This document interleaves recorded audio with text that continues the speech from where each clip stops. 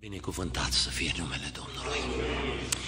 Previților, aș vrea să citesc din Cuvântul lui Dumnezeu, din Epistola Apostolului Pavel către Evrei, din capitolul 12, de la versetul 25. Evrei 12 cu 25.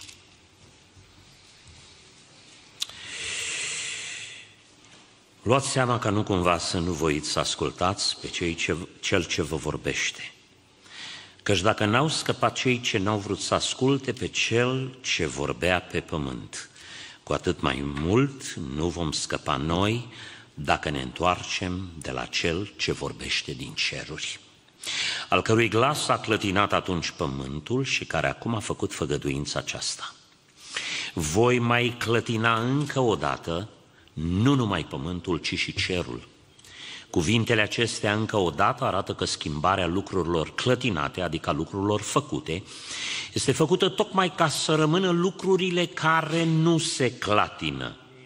Fiindcă am primit dar o împărăție care nu se poate clătina, să ne arătăm mulțumitor și să aducem astfel lui Dumnezeu o închinare plăcută cu evlavie și cu frică, fiindcă Dumnezeul nostru este un foc mistuitor Amin.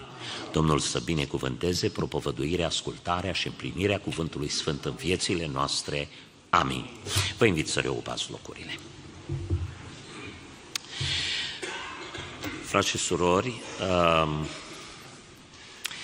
organizarea unei conferințe, fie ea regională, națională, um, cere foarte mult efort, implicare, Uh, sacrificii de timp, de muncă și financiare și um, apreciem din toată inima faptul că fratele păstor Nelu Cosma împreună cu conducerea bisericii și Biserica Betania au acceptat și ne-au primit cu multă dragoste să avem această conferință regională Sud-Centru, care cuprinde bisericile din zona Texas, um, în cadrul Uniunii. Uh, ne-ați tratat așa de frumos de fiecare dată când am venit aici și am venit de câteva ori, încât, uh, sincer să vă spun, mi s-a făcut drag de venit pe aici. Pentru noi, cei din Chicago, mai ales faptul că am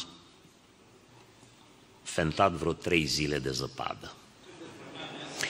Nu că zăpada este rea, ne place foarte, foarte mult, așa din când în când. Uh, uh, pe de altă parte, uh, vreau să vă spun că apreciem din toată inima această biserică. Biserica Betania din San Antonio a fost o biserică care a început cândva și ca la început lucrurile sunt mai grele, Uh, dar pe parcurs Dumnezeu a lucrat în biserica aceasta și apreciem din toată inima călăuzirea Domnului prin care uh, păstorul dumneavoastră a fost adus aici să slujească. Uh, a devenit o biserică foarte puternică și trebuie să spun că și de pe la Elim ați luat, câtă vreme luați mai mulți de la Betania decât de la Elim, eu vă felicit din toată inima. Uite așa la mine, la Arizona, când mă duc, sunt negru de supărare. Uh, adevărul este că din Chicago în ultimii ani au plecat foarte mulți, uh, cel puțin din biserica Elim, sute de credincioși de suflete au plecat către uh, zonele de sud și lucrul acesta nu ne place. Adevărul este că nu ne place. Dar dacă tot se întâmplă, vorba fratelui Luigi, eh, noi ne bucurăm să știm că sunteți în Biserica Domnului, că îl slujiți pe Dumnezeu și că eh, n-ați venit aici doar pentru un pic mai multă căldură, ci ca să continuați să fiți poporul lui Dumnezeu. Eu vreau să mulțumesc pentru eh, găzduire familiei Trif. Familia Trif a fost o familie pe care realmente am pierdut-o și am pierdut foarte mult când i-am pierdut pe ei. Ehm, foarte mulți ani de zile, eh, băieților au fost inima fanfarei și fanfara chemată, nechemată, în fiecare joi seara cânta. Pentru că ei împreună cu verișorii lor erau un nucleu și pe lângă ei se mai adunau și alții. Uh, adevărul este că uh, au plecat și din punctul ăsta de vedere ne-au lăsat descoperiți. Însă familia Triv nu ne-a lăsat uh, descoperită și aș vrea să le mulțumesc încă o dată, așa cum am făcut-o și la Biserica Elim, să le mulțumesc aici, în mijlocul bisericii din care fac parte, pentru sacrificiile extraordinare și dragostea pe care au avut-o pentru Biserica Elim în proiectul de construcție. Um, noi știm că prin actul lor, prin generozitatea lor, prin dragostea lor, Biserica Elim a economisit multe milioane de dolari și multă bătaie de cap.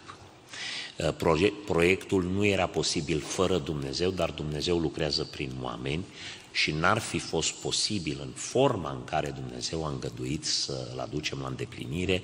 Entuziasmul oamenilor a fost și a rămas încă extraordinar datorită acestei măsuri de siguranță pe care Dumnezeu a așezat-o în spatele acestui proiect.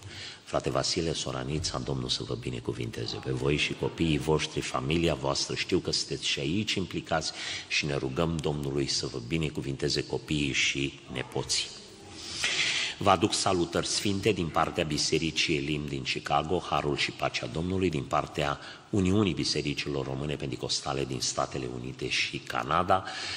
Întotdeauna îmi place să spun că dacă biserica noastră vă dorește har și pace, Uniunea vi dorește înmulțite, pentru că avem nevoie de ele. Am uh, meditat la cuvintele rostite de frații păstori în această seară și cu toate că mă gândisem la altceva, am vrut să rămân în ton cu uh, direcția pe care ei au dat-o, călăuziți de Duhul Sfânt. Uh, fratele Pavel spunea că trăim în vremuri grele, a citat din cuvântul lui Dumnezeu și că trebuie să răscumpărăm vremea, să luăm seama la noi înșine. Fratele păstorului Gimițoi a suprapus uh, prin mesajul despre Iona urgența cu care noi suntem trimiși în vremea din urmă să facem ucenici din toate neamurile și trebuie să recunoaștem că venirea Domnului, dacă este întârziată, dacă putem să spunem că este întârziată, măcar că Dumnezeu cunoaște ceasul, ora, dar dacă putem spune lucrul ăsta, pentru că Petru așa se exprima, Dumnezeu nu întârzie, dar are o îndelungă răbdare pentru voi, ca toți să vină la pocăință, să nu se piardă niciunul. Și mai mult decât atât, spune, deci ce fel de oameni ar trebui să fiți voi, fiindcă toate aceste lucruri se vor strica, se vor clătina, vor fi zguduite.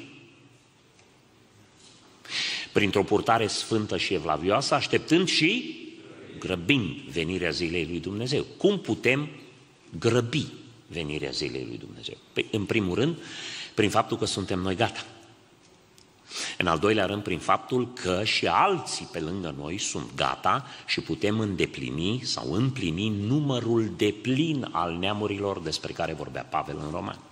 Pentru că e un număr fix pe care Dumnezeu l-a hotărât în har. Or, în seara aceasta, vorbind despre împărăția lui Dumnezeu, aș vrea să nu confundăm bisericile locale creștinii care se numesc creștini cu împărăția lui Dumnezeu. Este o mare diferență între împărăția lui Dumnezeu universală sau Biserica Domnului universală și Biserica Domnului locală. Biserica Domnului universală este formată din, de fapt avem Biserica Universală formată din toți credincioși și din toate vremurile credincioși adevărați pe care Dumnezeu îi consideră născuți din nou creștini autentici, nu există nimic fals în împărăția lui Dumnezeu, în Biserica Universală, inclusiv duhurile celor făcuți desăvârșiți. Asta înseamnă că din Biserica Universală fac parte credincioși din toate generațiile. Există o biserică universală. Apoi există o biserică globală și generațională. Biserica de pe întreg pământul, care aparține Domnului Isus Hristos, într-o generație de oameni vii. Cum ar fi acum, toți creștinii din toată lumea formează biserica globală sau generațională. Biserica generațională, nu toți cei ce își spun creștini sunt cu adevărat creștini. Noi știm că în Statele Unite, la ora actuală, undeva în jur de 30, dacă nu chiar sub 30% din populația Americii uh, frecventează biserica în fiecare duminică. Uh, când eu am ajuns în America, erau peste 50%. Și dacă credeți că asta este o statistică pesimistă, uh, America este pe primul loc în lume la frecventarea serviciilor biserici. În Europa sunt undeva la 7-8%. Or, în vremurile acestea, uh, dacă Biserica Universală este biserica perfectă, formată numai din credincioșii autentici, Biserica globală, generațională, nu este. Nu toți cei ce își zic creștini sunt cu adevărat creștini. Apoi există biserica în dimensiunea locală. Și îmi permit să spun, nu toți care sunt în biserica locală sunt parte din biserica universală, dar nimeni nu poate face parte din biserica universală a Domnului Isus Hristos dacă nu face parte din biserica locală a Domnului Isus Hristos. Pentru că adunările bisericii sunt vitale, esențiale, existențiale pentru biserică. Consider că una din uh, uneltirile diavolului în timpul pandemiei a fost să-i obișnuiască pe creștini fără biserică. Și din nefericire au reușit, fraților, n-au reușit în bisericile românești, care s-au mobilizat și într-un termen scurt s-au adunat din nou. Dar în bisericile americane, 30 până la 40% din biserici au scăzut la nivelul de desfințare și dintre cei care s-au deschis, s-au deschis multe dintre biserici cu mai puțin de 50% din efectivul pe care l-au avut înainte de pandemie. Pentru că oamenii se obișnuiesc foarte ușor la rău și fără Dumnezeu și fără biserică. Uh, Acum există și o altă dimensiune a bisericii, dar nu este o dimensiune normativă, este o dimensiune specifică unor situații, la nivel personal. Dacă cineva este în închisoare, dacă cineva este izolat undeva, Biserica Domnului este în el și cu el. El este în Biserica Domnului, chiar dacă e în locuri pustii, chiar dacă e departe pentru că circumstanțele nu-i permit să facă parte din biserica locală, dar asta nu înseamnă că el nu face parte din biserică. Sunt oameni care au stat mulți ani în pușcărie datorită credinței și acolo au fost cu Dumnezeu, biserica Domnului a poposit în celula lor, în locul unde ei s-au închinat. Acum, pentru că nu oricine zice Doamne, Doamne, îi slujește cu adevărat Domnului, când Dumnezeu vrea să purifice Universul și spune Biblia că vor fi clătinate puterile cerurilor, Petru spune trupurile cerești se vor topi de mare căldură. Asta înseamnă că Dumnezeu va face Universul ghemotoc. Va izbi cu amândoi pumnii în masa Universului și va deranja toate stabilimentele tot ce este materie și spirit va trece pe sub buzduganul lui Dumnezeu. Este o amenințare, este o realitate biblică. Toate puterile vor fi clătinate. Există trei entități în lumea noastră. Dumnezeu când stă de vorbă cu oamenii, îi plasează în aceste trei entități. Prima entitate sunt neamurile, a doua entitate este Israelul și a treia entitate este biserica. Când Dumnezeu vorbește de oameni, îi încadrează undeva în aceste trei categorii. Și ascultați ce spune cuvântul lui Dumnezeu în Isaia, capitolul 13, versetul 9. Vorbim despre neamuri mai întâi. Iată vine ziua Domnului. Noi știm că există un an de îndurare, care este perioada Harului, care se termină cu ziua Domnului. Între anul de îndurare și ziua Domnului este răpirea bisericii care declanșează mânia lui Dumnezeu. Și vom mai vorbi despre asta. Iată vine ziua Domnului, zi fără milă.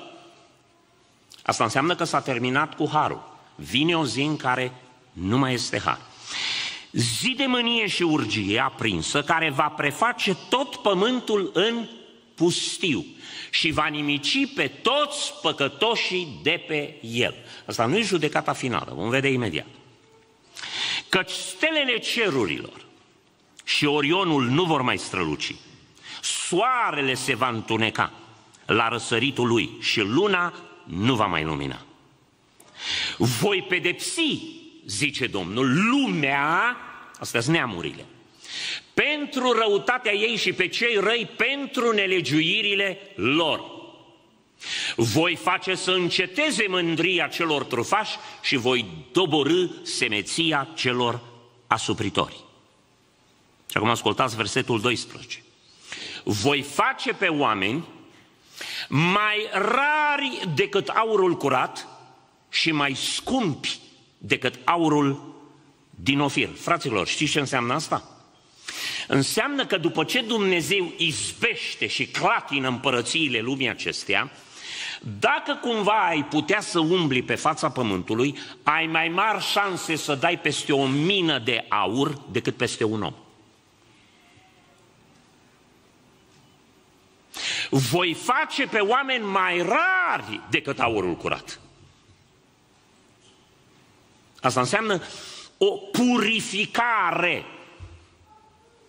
De ce? Pentru că în domnia de o mie de ani, în urma mâniei lui Dumnezeu, Pământul va fi regenerat, satana este legat o mie de ani, cine va fi nelegiuit la vremea aia, ă, înseamnă că nu apucă nici o sută de ani, cine va trăi 100 de ani va fi considerat nelegiuit, se vor restaura foarte multe lucruri, pustia va înflori, Israelul va deveni centrul pământului, biserica și Israelul vor împărăți împreună cu Hristos, Hristos împărățește cu biserica din Israel, muntele lui Dumnezeu va fi cel mai înalt nume, Israelul pentru prima dată se vor împlini făgăduințele avramice, Israelul va fi cea mai puternică și mai numeroasă națiune, pentru că îi pregătește pe cei 144 de mii ca bază genetică pentru repopularea lui Israel, vorbim imediat despre ei, și pământul o ia de la început. Este un nou început în domnia de o mie de ani, unde toate națiunile vor veni și se vor închina lui Dumnezeu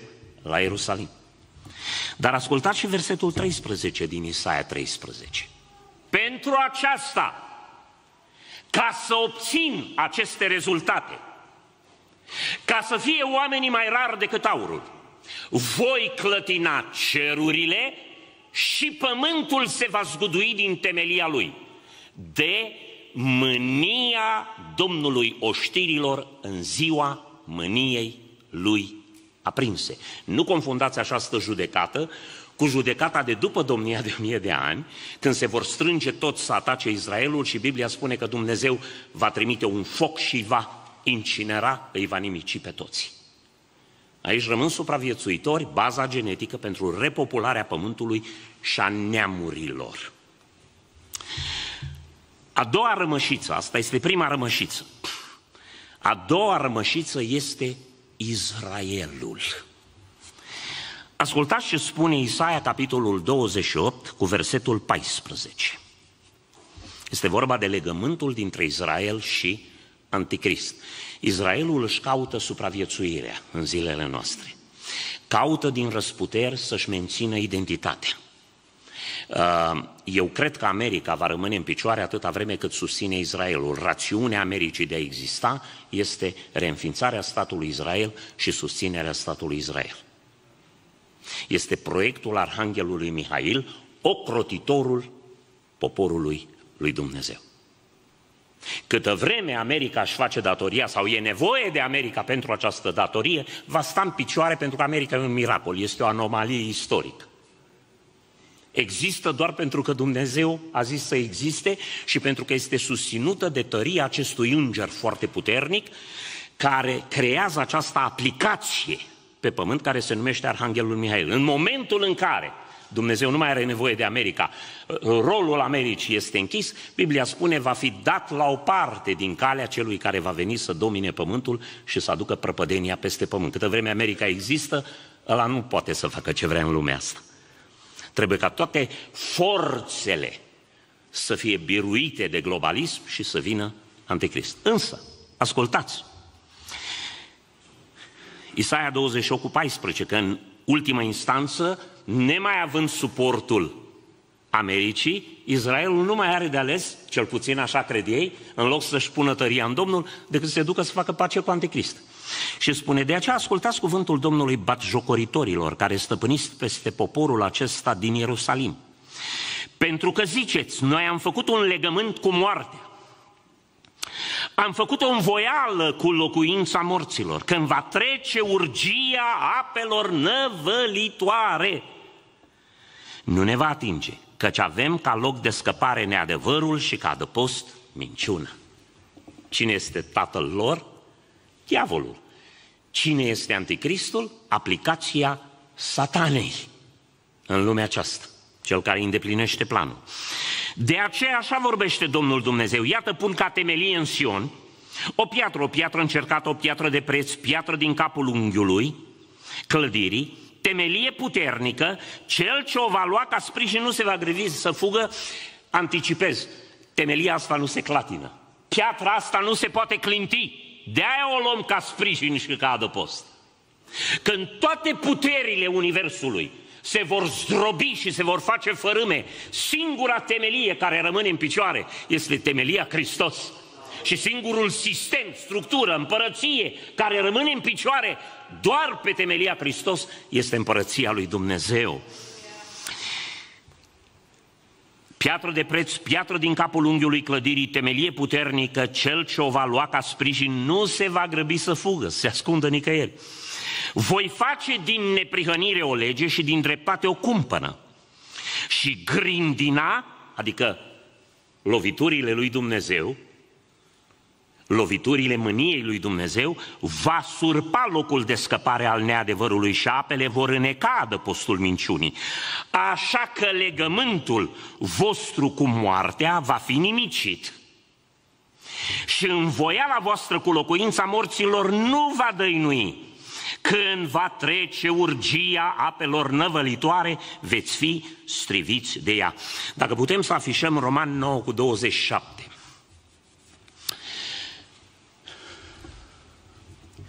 Isaia, pe de altă parte, strigă cu privire la Israel. Chiar dacă numărul fiilor lui Israel ar fi ca nisipul mării, n-a fost niciodată. Va fi în timpul domniei de o mie de ani. Atunci se împlinesc profețiile avramice. Numai rămășița va fi mântuită. Ce înseamnă rămășiță? Ce rămâne? Cea mai mare parte este strivită și nimicită, rămâne o rămășiță a neamurilor. Cea mai mare parte a lui Israel este purificată și pedepsită datorită legământului cu moartea, o rămășiță va fi mântuită. Romani 11 de la 5 la 7. Tot așa și în vremea de față, este o rămășiță datorită unei alegeri prin har. Și dacă este prin har, atunci nu mai este prin fapte, al minter harul n-ar mai, fi, n-ar mai fi har. Și dacă este prin fapte, nu mai este prin har, al minter fapta n-ar mai fi faptă. Deci ce urmează? Că Israel n-a căpătat ce căuta, iar rămășița alea s-a căpătat pe când ceilalți au fost împietriți. Cu alte cuvinte, rămâne o rămășiță care se întoarce la Hristos, care îl primește pe Hristos ca mântuitor și se realizează unitatea de drept și de fapt între Israel și biserică în Hristos, despre care citim în Efesen, capitolul 2. Ezechiel 14 vorbește de o rămășiță. Cu alte cuvinte, Dumnezeu clatină neamurile și rămâne o rămășiță. Oamenii foarte rari pe pământ. Clatină Israelul și rămâne o rămășiță, baza genetică care repopulează cele 12 seminții ale lui Israel. Ce facem cu biserica? Și biserica va fi clătinată în forma ei generațională și globală, în vremea din urmă. Biserica Universală este ceea ce rămâne nezdruncinat și nezdrobit. Toate generațiile au avut parte de o clătinare. Fiecare credincios a fost pus la test și la încercare. Dar ultimul test al bisericii este în forma lui globală și generațională, pentru că aceasta este generația răpirii. Și răpirea bisericii este un act singular, este un act special de care au parte oamenii care sunt testați în focul, în zdruncinarea aceasta a Universului și sunt găsiți vrednici prin puterea lui Dumnezeu și prin dragostea lui Dumnezeu. Știți că în Apocalipsa, capitolul 11, cuvântul lui Dumnezeu vorbește despre cele două mânii. În Apocalipsa 10 este vorba de împlinirea tainei lui Dumnezeu când cel de-al șaptelea înger sună din trâmbiță. Care e taina lui Dumnezeu Hristos și biserica? Și atunci, în capitolul 11, de la versetul 18, spune Neamurile se mâniaseră. Ce se întâmplă când se mânie neamurile? Cine suferă?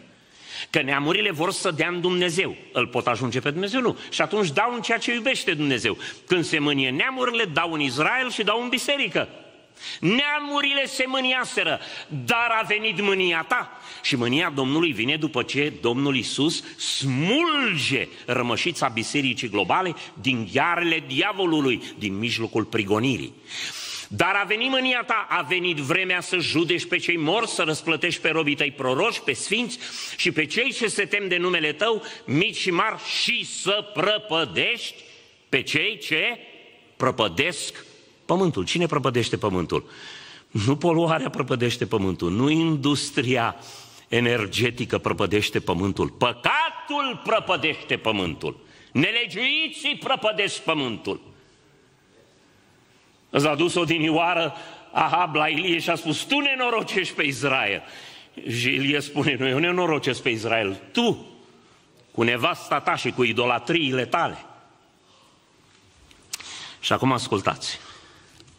În Matei, capitolul 24, când Domnul Iisus Hristos este întrebat de ucenici cu privire la ultimul episod al istoriei. Aici sunt foarte multe profeții escatologice, însă trebuie să înțelegem că primele cuvinte din Matei 24 se adresează ucenicilor în perspectiva bisericii, nu în perspectiva lui Israel. Hristos nu dă cuvânt prin scripturi, prin scripturi, prin ucenici, decât pentru Biserica Domnului Isus Hristos. Și spune așa, de la versetul 3. El a șezut jos pe muntele măslinilor și ucenicii lui au venit la el la o parte și au zis, spune-ne când se vor întâmpla aceste lucruri și care va fi semnul venirii tale și al sfârșitului veacului acestuia.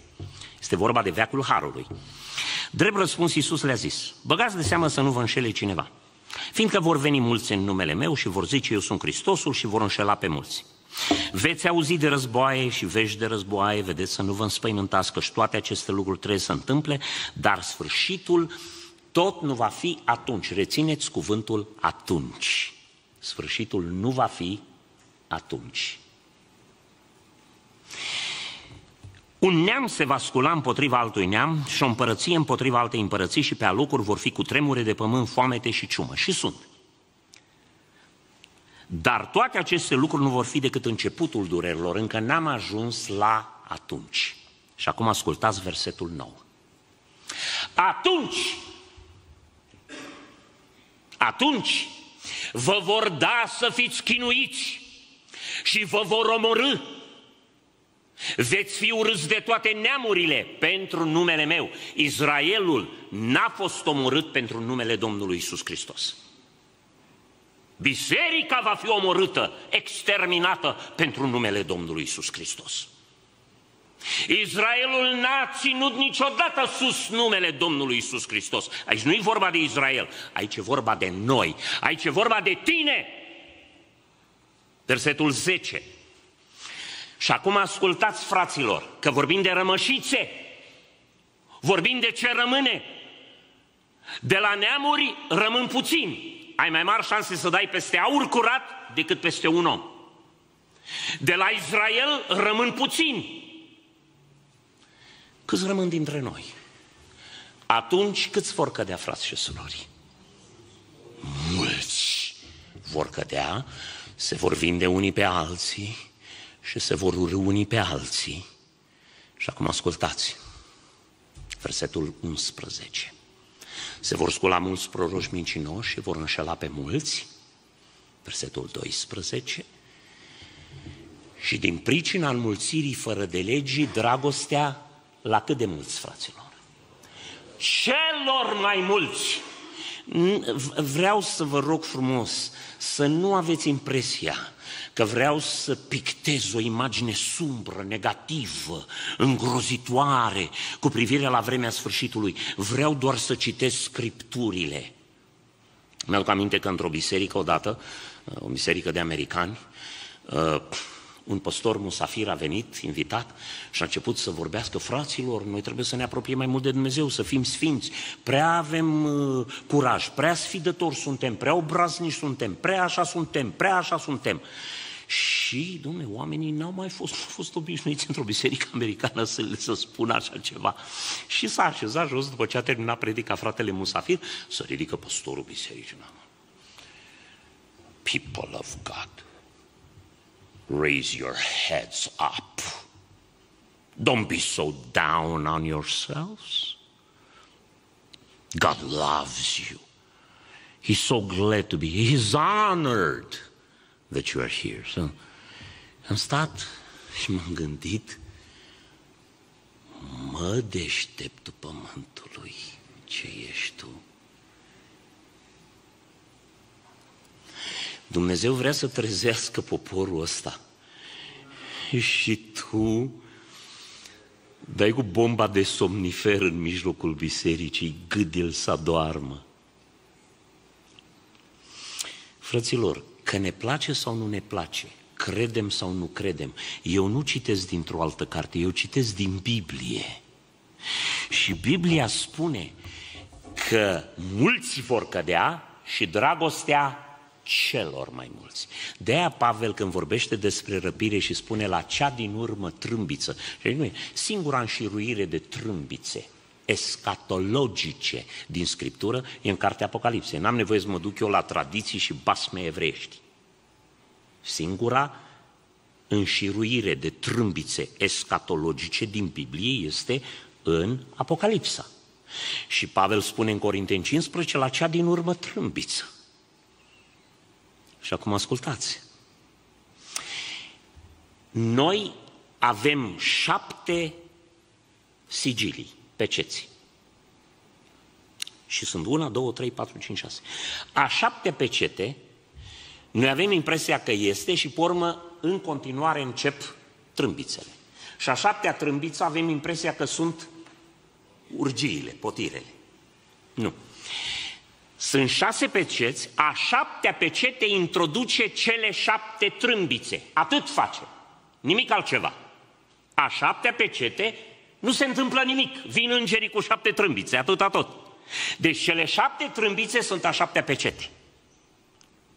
A șaptea trâmbiță, singurul lucru care se întâmplă, este răpirea bisericii și anunțarea potirelor. Când sună trâmbițul, ă, îngerul al șaptele din trâmbiță, vin îngerii cu potirele.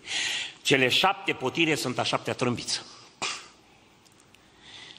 Mânia lui Dumnezeu nu vine decât după răpirea bisericii, dar să nu confundăm mânia neamurilor cu mânia Domnului.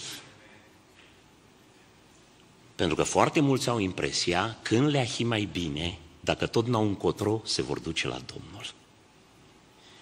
Scumpă biserică. Și noi vom fi clătinați. Pentru că totul va fi clătinat. De ce? Ca să rămână în picioare doar ce este autentic. Astăzi aici suntem toți împreună, dar unii nu sunt ai Domnului. Îi trădează caracterul, îi trădează preocupările, îi trădează faptele și noi nu le știm, că nu scrie pe fruntea nimănui. Însă Dumnezeu nu va lua decât această biserică slăvită, fără pată, fără zbârcitură sau ceva de felul acesta. Și eu mă rog din toată inima, nu vă fie frică de prigoană. Va veni. Mă uit de multe ori în biserica pe care o păstorez și mă uit la frații pe care îi vizitez și mă uit și la dumneavoastră în seara aceasta. Și aș vrea să vă spun că sunt onorat, că mă simt exaltat, pentru că știu că pe unii dintre dumneavoastră vă așteaptă haine albe, vă așteaptă cunun de glorie. Unii dintre voi vă veți da viața pe altarul martirilor. Sunteți așteptați de tovarășii și de colegii voștri care strigă de sub altar. Nu vă temeți, că nu-i nimic de temut. Dacă vreodată veți ajunge să vă dați viața pentru Hristos, nu e o nenorocire, e o cinste și o onoare pe care vă face Dumnezeu. Îmbrățișați acest lucru. Că în Tesaloniceni spune, cât privește venirea Domnului și strângerea noastră, la oaltă cu el. 2 Tesaloniceni, capitolul 2, versetul 1, vă rog, și cu asta închei. Cât privește venirea Domnului nostru Isus Hristos și strângerea noastră la oaltă cu El, traduceți, vă rog frumos, ce e asta? Răpirea bisericii. Vă rugăm, fraților, să nu vă lăsați clătinați așa de repede în mintea voastră și să nu vă tulburați de vreun duh, nici de vreo vorbă, nici de vreo epistolă, ca venind de la noi, ca și cum ziua Domnului ar fi și venit chiar. De ce? De ce vorbește mai întâi de răpire, strângerea noastră și acum de ziua Domnului? Că ăștia au dat de belele, de necazuri, au început să fie prigoniți și au confundat mânia neamurilor cu mânia lui Dumnezeu. Și au s-am intrat în mânie, înseamnă că răpirea a venit dacă am intrat în mânie. Și el spune, nu, nu, nu, ziua Domnului n-a venit. Pentru că n-a venit nici răpirea, pentru că voi doar sunteți într-o perioadă de prigoană și de persecuție. Versetul 3. Nimeni să nu vă amăgească în vreun chip, căci nu va veni nici răpirea care declanșează mânia lui Dumnezeu, urmată de mânia lui Dumnezeu, nu va veni înainte ca să fi venit lepădarea de credință, se vor vinde unii pe alții, asta e prigoana, și de a se descoperi omul fără de lege, fiul pierzării. Cine este? Anticrist. Răpirea nu vine înainte să se descopere Anticrist. Nu vine. Că, nu pentru că spun, eu, eu aș vrea să vină. Mă credeți că aș vrea să vină. Vai ce aș vrea să vină răpirea înainte să arate Anticrist. Vai ce aș vrea să vină răpirea la noapte și înainte să vină prigoana. Înainte să ne vedem copiii, prietenii, slujitorii, păstorii, cu capetele tăiate, decapitați. Vai ce aș vrea să vină! Dar Pavel spune altceva și Pavel a scris Biblia, nu eu. Cu inspirație de la Dumnezeu. Potrivnicul care se înalță mai presus de tot ce se numește Dumnezeu sau de ce este vrednic de închinare, așa că se va așeza în templul lui Dumnezeu, dându-se drept Dumnezeu. Cu alte cuvinte, când Anticrist face asta, rupe relația cu Israel, este semn pentru Israel că au alergat la porți false, că au cerut ajutor de la brațe mincinoase, că au făcut legământ cu moartea și vor fi purificați și nimiciți când se vor revolta, va rămâne rămășița. Dar apoi Anticristul întoarce tirul pe biserică și din mijlocul acestui prăpăd că biserica va fi exterminată fizic, dar nu spiritual, de acolo Dumnezeu vine și ne răpește, că până și termenul acesta semnifică un act de agresiune împotriva împărăției întunericului. Ne smulge, ne strânge și ne duce acasă. De aceea, frați și surori, noi ca și fecioare înțelepte, acum haideți să strângem un de lemn ca să avem rezervă în vase. Să fim plini de puterea Duhului Sfânt și să nu ne fie frică, dar absolut deloc, pentru că noi călcăm pe urmele Domnului nostru Isus Hristos. Am fost solicitat de fratele păstor să anunț o rugăciune.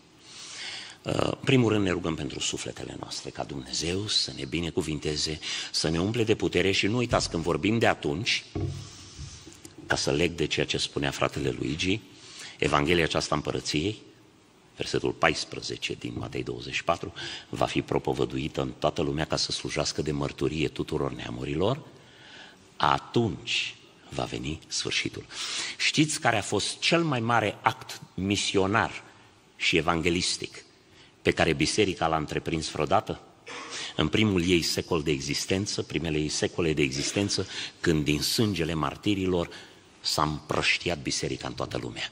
Asta se va întâmpla și la sfârșit, când în toată lumea se vor întoarce la Dumnezeu cu prețul vieții o sumedenie de oameni ca să se împlinească în numărul de plin al neamurilor. Ne rugăm ca Dumnezeu să ne umple de Duhul Sfânt și să ne dea putere.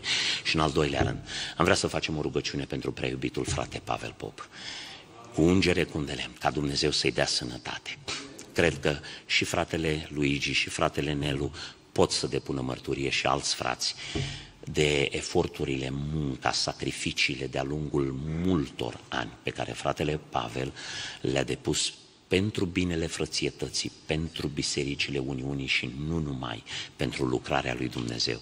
Și sincer să vă spun, eu nu știu ce plan are Dumnezeu cu privire la fratele Pavel, dar știu ce planuri avem noi, pentru că avem mare nevoie de el.